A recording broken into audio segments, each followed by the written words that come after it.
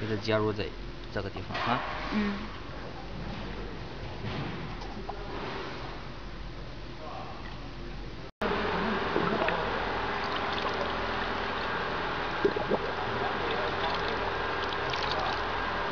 方位是吧？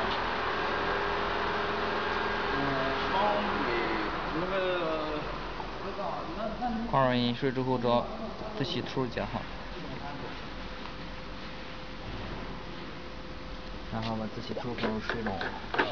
吸收阀门打开以后，你看到有个水冲槽从这个然后再把电源线吧接到这个一般手动箱后边儿咱都有预留的电源线接嗯。接接入电源线哈。嗯。